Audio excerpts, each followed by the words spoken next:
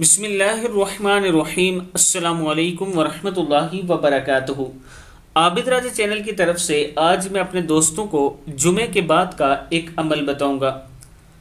آپ دوستوں نے اس پر ضرور عمل کرنا ہے۔ حضرت ابن عباس رضی اللہ تعالیٰ عنہ فرماتے ہیں کہ رسول اللہ صلی اللہ علیہ وآلہ وسلم نے ارشاد فرمایا، جو جمعے کے بعد ایک سو مرتبہ سبحان اللہ العظیم و بحمدہ پڑھے تو اللہ تعالیٰ اس کی زندگی میں برکتیں عطا فرماتا ہے اور اس کے گناہ معاف فرماتا ہے اور اس کے والدین پر کرم فرماتا ہے۔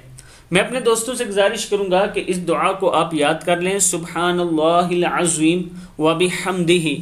انشاءاللہ اللہ تعالیٰ آپ پر کرم فرمائے گا۔ جمعے کے دن دروش شریف کا ورد کیا کریں دروش شریف کثرت کے ساتھ پڑھا کریں۔ السلام علیکم ورحمۃ اللہ وبرکاتہ۔